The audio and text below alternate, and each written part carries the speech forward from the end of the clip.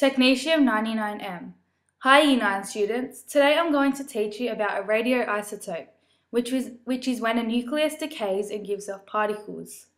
As the protons change, the atom transforms to an atom of a different element.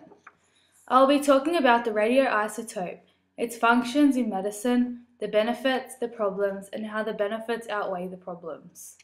Technetium 99M is a radioisotope which is a silver grey radioactive metal that is used in medicine. Technetium 99M emits gamma radiation, which is energy that travels at the speed of light. This radioisotope has a 6 hour half life. Technetium 99M is the most commonly used radioisotope in medicine.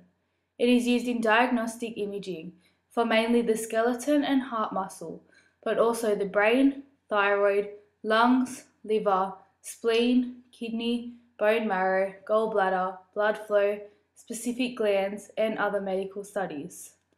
Technetium 99M is chemically bonded into a pharmaceutical, which is then injected into the body. It is broken down in the body by gamma radiation. It builds up in areas of most blood flow, which detects a disease.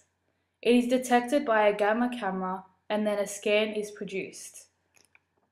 There are several benefits in using the radioisotope technetium-99m.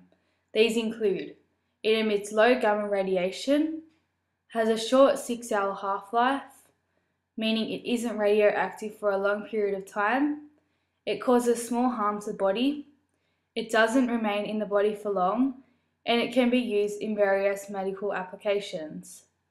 There are also a few problems with using it as there is a limited supply to the radioisotope, as it is mainly, mainly man-made.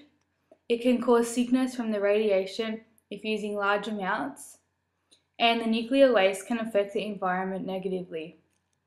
In comparing the benefits to the problems, the many benefits definitely outweigh the few problems significantly. This is because technetium 99M since 1958 has been used successfully. This radioisotope is safe, fast, and reliable, as it is used in 88% of medical procedures worldwide. It undergoes approximately 30 million procedures each year, which saves many lives by minimizing life-threatening diseases such as cancer by detecting problem areas in the body. Thank you.